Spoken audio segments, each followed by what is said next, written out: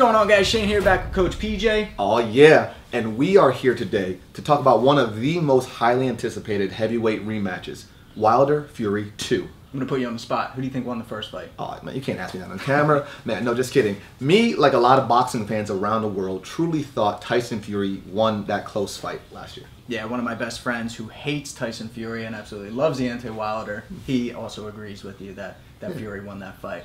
Today we're going to look at some key points. From the first fight, Tyson Fury, we saw those jabs, what I call the towel whipping jab, and a lot of great feints. We saw his clinching on the inside range and those head movement patterns that ultimately got him in trouble in the ninth and the 12th round. And then from Deontay Wilder, we're going to take a look at his patience, which led to energy conservation, how he sets up that power combo, and then one minor adjustment that helped him secure the draw in the first fight. But first, just so you don't get confused with who's who, I'll be playing Deontay Wilder. No, I'm sorry. I'll be playing Tyson Fury. Oh, there you go. oh, looks good on you, man. I'll be playing Tyson Fury. Mm. Coach PJ will be Deontay Wilder. Hey. Let's take a look at Bomb some tactics. squad! Let's take a look at some tactics from the first fight. All right, guys. So first thing we're going to look at was the outside fighting that was done very well by Tyson Fury. Mm-hmm. Range and distance was probably my biggest observa- observation in this fight. I felt like Fury did a really good job on the outside, really good job on the inside, and he had parts in midi- medium range where he did really well. And we're going to talk more about that. But the first thing that I saw was his jabs and his mm. feints and how he was able to keep Wilder hesitant and just land jab after jab, racking up the points on the scoreboards. Mm, that's why Fury was able to win a lot of rounds by just by keeping Deontay Wilder occupied. Not even just with the jab, he would feint with his head. Keep it moving. Remember, famously, he Yeah. stuck his tongue out at one point. right? Yeah. So he's Yeah. using the jab to feint, he's using his head to feint, but he's also using his footwork and moving around Deontay Wilder, nullifying that right hand. Yeah, and it's just point after point, point, point, point, point, and the whole time Wilder's trying to land those power shots. He's trying to land that right hand, but racking up the points. I mean, you got to understand that it's round by round in this game of boxing. Mm-hmm. The one thing I talked about was the towel whipping jab. This is this is something that I think about in my mind when I watch this, and you can see it in slow motion in some of the the replays from the fight. When he throws it, yeah, you can see that his wrist curls before he throws it. And the reason why I call it the towel whipping is imagine, you know, when you roll a towel up and you whip it at someone, it has to be very loose. It can't be firm until the very end. And that's what uh, Fury does a great job of staying really loose with his jab, which adds to the speed, and it doesn't take as much energy. So he goes bang, right here, bang, and it isn't firm until the point of impact. So he's loose, loose, loose, even from the wrist, elbow, shoulder, bang, and then he doesn't really turn it over too. It's almost like a backhand, but he still tries to make contact with the knuckles by the time it lands because in boxing, you can't actually hit with the back of the hand. So I wouldn't be able to do this to PJ. It is illegal, but it not only kept Deontay Wilder at bay, Wilder was actually looking at this. Fury could keep him here, and then that jab doesn't have to be a lot of power. His jab is just touching him, and it's keeping Deontay Wilder back. He's not able to drive forward with that power. Yeah. So again, another way that Fury was using that range. Yeah, just to nullify that right hand from Wilder. If it's actively defending, and we've noticed uh, from previous fights with Wilder, he has success with that right hand when he's moving forward, not when he's standing still, not when the pressure's being put on him. So that was one of the biggest takeaways for me was that jab with the feints from the outside. Even though uh, we saw Fury circling out to the left towards the power hand, he's still the taller, longer fighter. He's got the longer reach, and he was able to use that and to stay at bay and keep uh, keep Wilder away with that jab. The next is how good he did with the clinch. The number one entry that I saw in this fight was when Wilder would throw that right hand, he would mm-hmm. use his long guard with his left hand.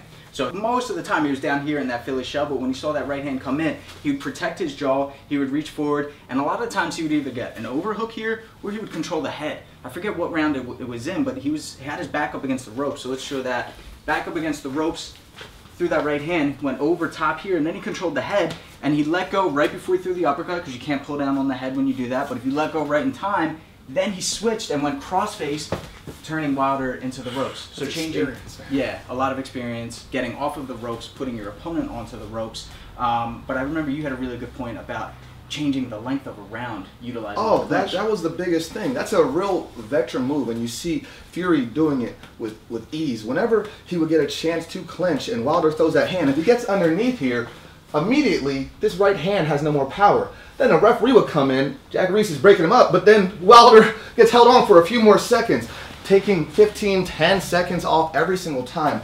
Taking that three minute round down to about two minutes, where Fury has a lot less things to think about with that right hand coming at him. Yeah, yeah, it, and it, that's that's what it ultimately comes down to is you're nullifying that power Mhm. from Deontay Wilder, and you're taking time away from him to be able to do that. We just talked about how Wilder does well moving forward, but he often jams himself up because Exactly. he does, you know, his power's at the end of his punches. But if he's moving forward, if uh, Fury can crash the range or can effectively clinch up, then he's going to take that away from him.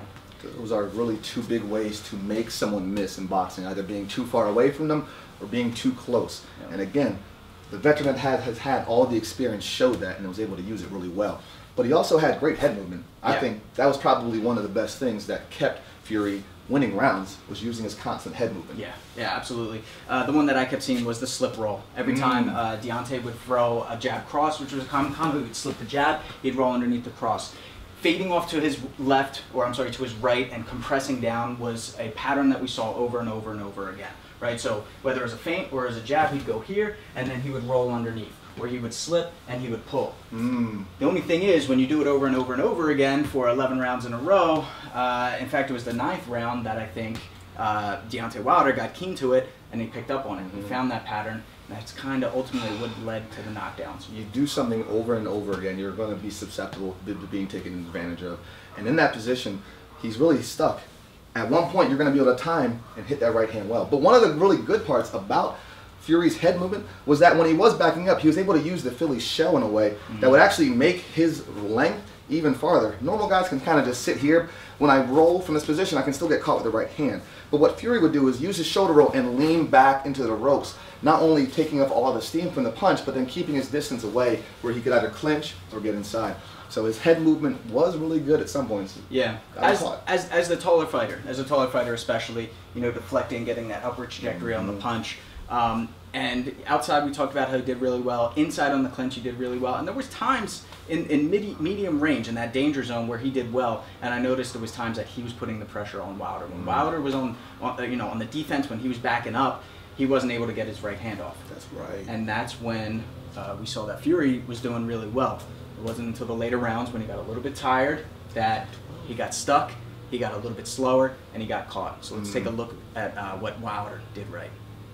All right, now some critics may say that Deontay Wilder is an inactive fighter, but I think that's kind of his strategy. That's his style, no? Right, He's a special fighter, legendary right hand power. Some people even say that he's one of the hardest hitting heavyweights of all time.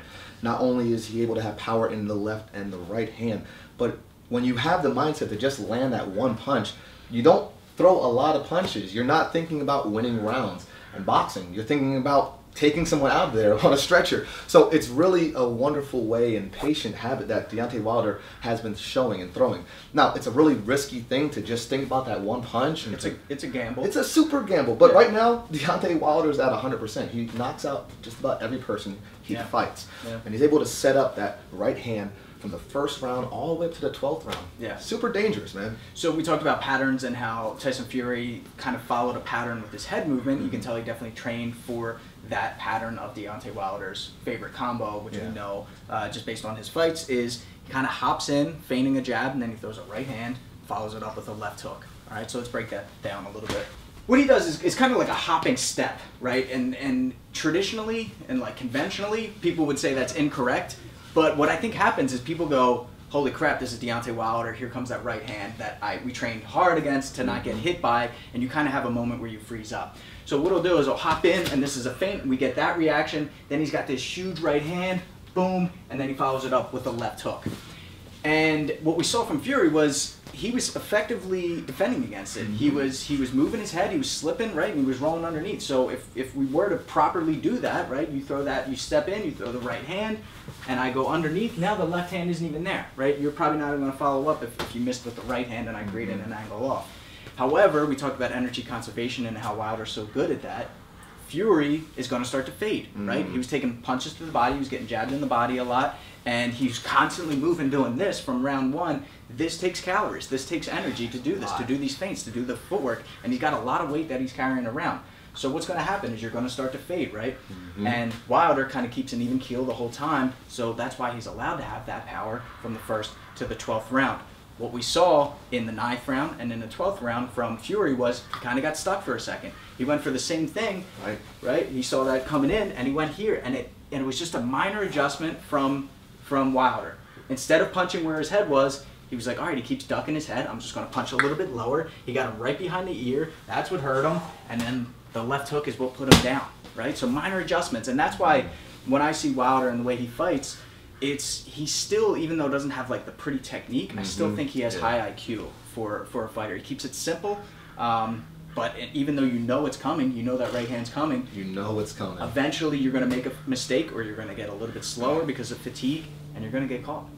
All right, guys, so that's what we saw in the first fight. Let us know in the comments down below if we missed anything. Now let's talk about what we think is going to happen in the rematch. I just got to say, going back and watching that first fight again, what a great fight. Man, what a great fight. fight. It was like it played out like a movie. Uh, super excited for this rematch. Who do you see winning? Oh man, Why I am how? torn. I'm so torn. Yeah. Like my my my heart's telling me Fury. My, my my boxing brain's telling me Wilder. I'm looking back and forth. I, I really, at the end of it, I'm going to sway and lean a little bit towards Tyson Fury winning by decision. I'm only seeing it either by decision or knockout, but I'm leaning in Fury not just because of the footwork, the boxing IQ, the knowledge, the experience, um, and a fully in shape, in camp Tyson Fury, but I'm looking at it now. That last fight, he was only six months removed from a couple of years off, battling with depression, suicide, alcoholism, getting all that weight. Um, Right. and, and now we're getting a real vision of Tyson Fury. We're going to really see what he's like when he goes to a full camp, when he changes things up, gets a new trainer. Uh, I'm, I'm really torn, but I think it's going to be an incredible fight, man. How do you see it? Yeah, I mean, I, I don't disagree with you. Um, we also heard that uh, Tyson Fury's been working with a strength and conditioning coach, and he's looking for the knockout in this fight. so, that too. so it, it, I, I could see it. I could see it happening. Um, however, Deontay Wilder has a great chin. We kind of it's kind of an underrated chin. He takes big hits from from a lot of his opponents, Fury included, who's a big dude and can get weight behind his shots, and he really does eat those shots. I'm actually going to be leaning towards Wilder in this fight, and here's why: is because I agree with you that uh, the the, bo- the boxer with better finesse um, and better technique and better skill is Tyson Fury. However, I think that he played an almost perfect game in the first fight, almost perfect, Almost. um, and he doesn't have that much more to improve upon. I mean, there's a lot of things that he can do. However, Wilder, I think, can make a lot of improvements going into this fight. And I think if he goes back and studies the film and watches some of the mistakes that he made and some of the openings that Tyson Fury left for him, I could see him catching him even earlier. Um, I would like to see him work the body a little bit more, and I think those are things that we're going to see. I think if um, if he finds his range a little bit more, if he doesn't allow Fury to crash the range on him and tie him up, if we see him work the body a little bit more, not just with straight punches, but there were times where he'd fake and get on the inside with liver shots and work the right hook to the body. If we start seeing that early on, uh, more jabs from Deontay Wilder, I think we're going to see him take this um, uh, and, and finish with a knockout. That's what I don't think. know. Yeah, so we'll see. What do you guys think? You got to comment down below. We got to get a, a discussion down below. Until next time, uh, follow Coach PJ. Links are in the description below for his Instagram, for his YouTube channel, and subscribe to get the fight tips before your opponent does. I'm Shane. It's Coach PJ. Fight tips for the underdogs.